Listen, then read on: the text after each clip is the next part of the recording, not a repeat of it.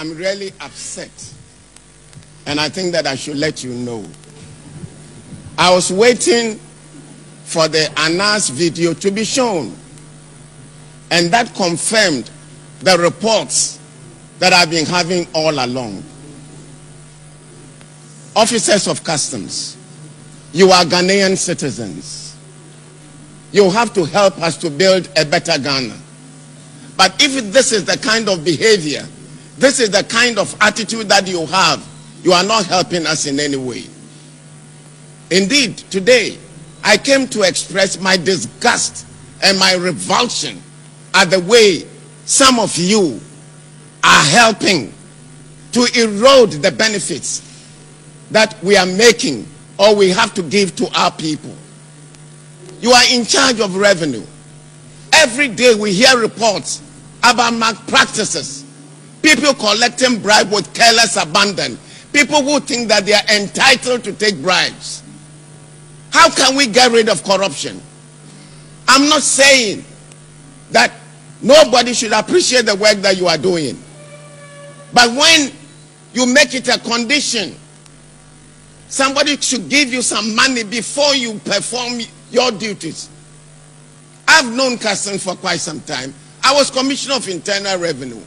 And the Anas video confirmed the fears I've had for quite some time. Look at yourself. I want to talk very frankly to you. Somebody joins customs, two, three years, the person is putting up a building. The person owns a car.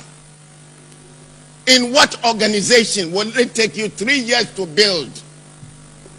And it is not the exception, it is the rule. Very often, my Minister for Finance is worried about the fiscal gap that we have. And your duty is to collect, to display transparency in the way you operate. And I'm happy with the initiative that General Mordey has taken. And I give him my full support. My brothers and sisters, let me be very honest with you. If it means transferring everybody, I will give him the authority to do so. If it means changing all the people in customs, I will do so. Because we do not owe anybody anything. But I know there are good people amongst you. The good people should be influencing the bad ones. Because your reputation now has been soiled. And this is something that we have known all along. And I want to use this occasion to send a signal to your colleagues at Aflao. I'm aware of what they are doing. And very soon we'll descend on them. And then DVLA, one of these days, they will find me there.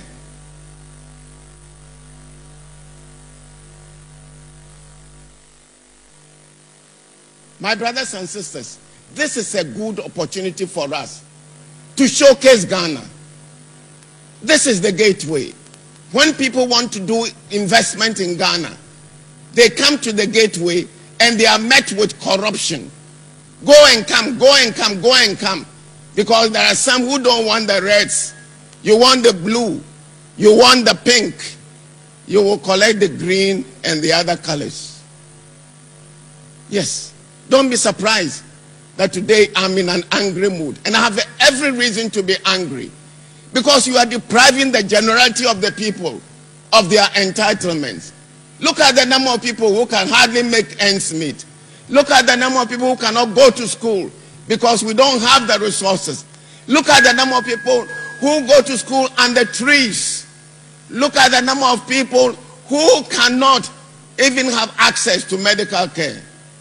And we need the revenue to be able to do that. And what is happening? The money you collect does not belong to you. It belongs to the nation. And nobody has a right to appropriate what belongs to the nation. And I've told General Mordey that he has every right to do what he thinks is right. Of course, some allegations have also been made against GCNet. Their day of reckoning is also going to come. I'm not going to judge them on the basis of this. but the matter must be investigated. And let me also say this who is watching the watchman? You have security agencies which are operating here. I wish that the revelations from Anas could have come to me through the security agencies which are here. No, that has not been the case. You have a situation where all kinds of task forces have been created. There are people who come here throwing their weight around, dropping names of so called higher ups. I've told General Mordey, and I'm telling you, if anybody comes with the president's name, the first thing you should do is to arrest that person.